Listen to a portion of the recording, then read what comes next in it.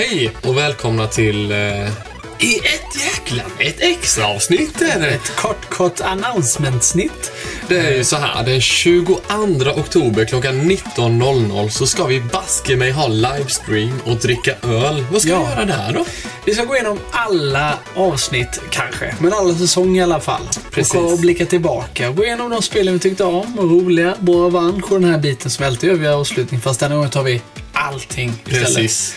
Och eh, gå igenom även eh, sista avsnittet, Journey to Silius kommentarer.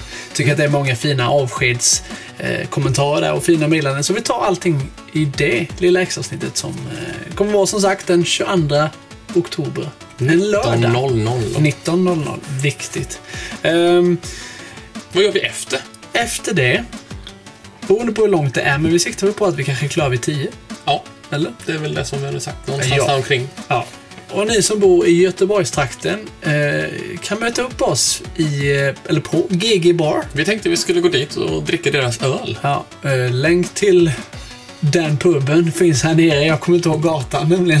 Ja, det är Landalagatan någonting Ja. Eh, Det ligger det, på Landala i alla fall. ja, centralt i Göteborg kan Ja, man säga. det kan man absolut. Så eh, fan, vi tänkte dra dit, ta en bärs. Är det ingen där så är det du och jag där. Du är jag, det gör väl andra. vi, vi, vi, klarar oss nog med varandra tror jag. Vi måste ta en liten skåla på detta. Det måste vi. Eh, Det är någonting projekt. att eh, fira att vi har seglat den här båten i hamn. Ja, faktiskt. Det är så. Ja, pricken över i den kvällen. Så om ni kan, möt upp oss ungefär efter 10 på Gigi Bar. Om inte, möt oss klockan 7 istället då, lite tidigare och håll oss sällskap i streamen.